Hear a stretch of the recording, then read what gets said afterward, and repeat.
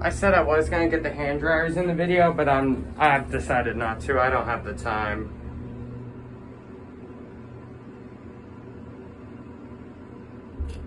Pretty nice elevator, I think.